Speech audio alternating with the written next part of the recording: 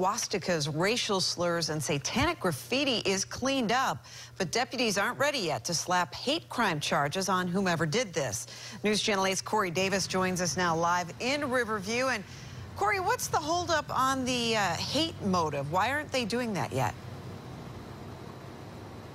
Good evening to you, Stacy. Well, Hillsborough deputies, they tell us that they're waiting to find out who did this and why before they move forward. But I want to show you here, the symbols are already covered up here on the side of Christ the King Lutheran Church. But people who saw those symbols say they were hateful.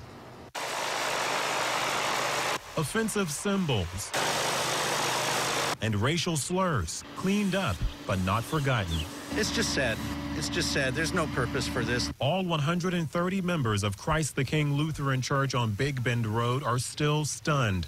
Their place of worship vandalized. Well, you have some anger, but I, am over that. I just want to really get beyond this. But people living in the Summerfield neighborhood next door are still thinking about it, worried and cautious. I do know that in the past we did have a few incidences where uh, we've had kids vandalize some cars in here. This time, neighbors believe kids are also behind the crime at the church. We got to get involved more with this community and get our children occupied. And held responsible for their actions. My feeling is there's bad people in all uh, ages and everything. The anger it took to leave these messages and vandalize the property is what some neighbors see as hateful actions.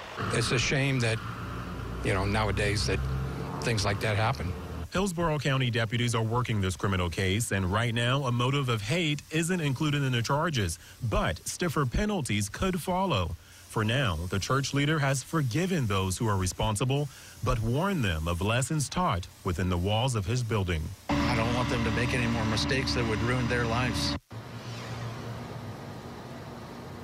And tonight, if the people who did this are caught, they could face several thousand dollars in fines, and those penalties could be higher if hate is included in that.